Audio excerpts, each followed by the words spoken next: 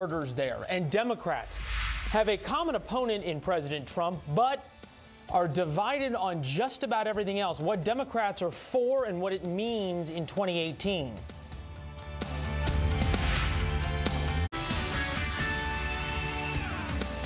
No question, Democrats are fired up in united in opposition against President Trump, but they are deeply divided on what they are actually for, depending on the issue.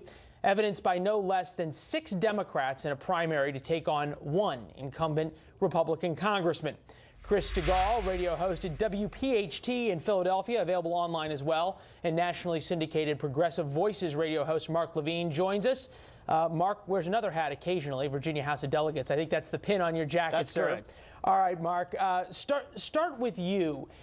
Do Democrats need to at least spend 50% of their time on presenting a vision, or is the party of no opposition to President Trump a good strategy? Oh, I think Democrats uh, have always put forward a vision, and we need to make that very clear. I mean, we, we, have, we support oh, oh, affordable oh. health care. We support raising minimum wage. We support paid family medical leave. We support making college more affordable. Okay, but, we, but take but take health care, Mark. You, have got all the you've got all the way from sort of uh, the Joe Manchin types who say, yeah, I can sign sign on to a possible uh, fix of Obamacare, to Bernie Sanders who says I want single payer. That doesn't sound very united to me. Well, I think we agree on the same vision. We agree that any American who should be able to get treatable health care even if they can't afford it. What we disagree is on the mechanism for paying for it. Some of us would, would modify the Affordable Care Act. Other of us would go more to the European model of Medicare for all. And we do have some disagreements on that. But the basic idea that if you need health care, you should be able to get it at an affordable cost, we all agree on that. We all agree that drug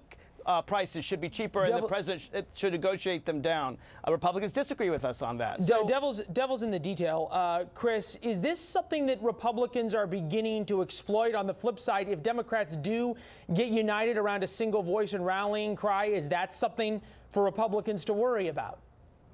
Oh, well, I, I suppose, but that's a big if, and that's a long ways away. I mean, you just saw in this last election cycle, there can be no doubt that the two most disruptive forces in our politics were Trump and uh, Sanders, not Mrs. Clinton. Mrs. Clinton was soundly and roundly rejected. And even as you look at those drop off Obama voters who voted for Trump, it was all about Mrs. Clinton.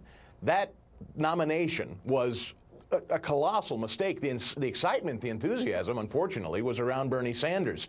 Should that take hold? Yeah, Republicans ought to look out, but I'm not convinced they're there yet. Uh, Mark, to that point, I, I, went down to the DNC in Atlanta, and the, the DNC, for its past uh, few months has been uh, admittedly in disarray. Tom Perez having a difficult time sort of hurting the cats on this. But every panel, every forum down there was identity politics. And you uh, listen to the Virginia governor's race that's coming up, uh, the Democratic candidate there. It's all about identity politics. Actually, I've heard very little identity politics from Ralph Northam. He's talking about jobs. He's talking about making college more affordable. He's talking about health care. He's talking about opposing so, Donald so is Trump that the new, so is that the new so is that the new strategy in your mind? I think Democrats care about civil rights for all Americans and care about equal opportunity for all Americans. It's not either or, it's both and. But, but, but is civil rights different than identity politics?